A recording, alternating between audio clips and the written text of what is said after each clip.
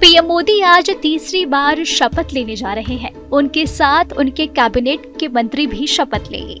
सूत्रों के मुताबिक अमित शाह, राजनाथ सिंह, नितिन गडकरी, पीयूष गोयल, अश्वनी वैष्णव, निर्मला सीतारमन और मनसुख मांडविया जैसे वरिष्ठ नेताओं की जगह नई सरकार में पक्की मानी जा रही है।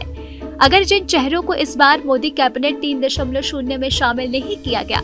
उनकी लिस्ट चौंकाने वाली है। जी हाँ ऐसा बताया जा रहा है कि अनुराग ठाकुर से लेकर स्मृति ईरानी जैसे दिग्गज चेहरों को इस बार पीएम मोदी की नई कैबिनेट में जगह नहीं मिलने वाली है।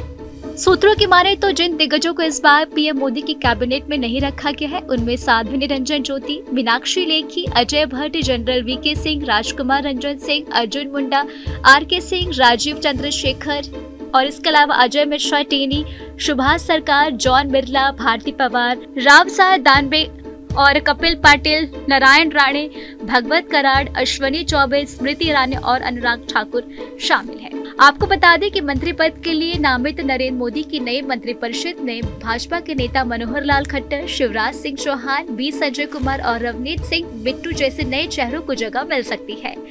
और आपको बता दें, रविवार शाम भाजपा के वरिष्ठ नेता मोदी प्रधानमंत्री पद की शपथ लेंगे। सूत्रों ने बताया है कि शिवसेना के प्रतापराव जाधव भाजपा की गुजरात इकाई के अध्यक्ष सी आर पटेल, ज्योतिराव सिंधिया, राव इंद्रजीत सिंह, नित्यानंद राय, भागीरथ चौधरी और हर्ष मल्होत्रा को भी मंत्री बनाया जा सकता है। सूत्रों ने जिन उक्त नेताओं के नाम बताए हैं, इनमें से सभी ने रविवार को चाय पर मोदी से मुलाकात की। आपको बता दें, साल 2014 से यह परंपरा से बन गई है कि मोदी मंत्रिपरिषद के गठन से पहले नेताओं को चाय पर बुलाते हैं और फिर कमावेश वही चेहरे मंत्री पद की शपथ लेते हैं। हालाँकि संभावित मंत्रियों के बारे में अभी तक कोई आपराधिक टिप्पणी नहीं की गई है। तो वही उत्तर प्रदेश से भाजपा सांसद जितिन प्रसाद और महाराष्ट्र से रक्षा खड़से के भी नई सरकार का हिस्सा होने की संभावना है। खड़से ने मीडिया से पुष्टि की है कि उन्हें सरकार का हिस्सा बनने के लिए फ़ोन आया है। तो वही एक सूत्र ने बताया है कि सीतारमण, सर्वनंद, सोनेवाल और किरण रिजिजू भी शपथ लेंगे।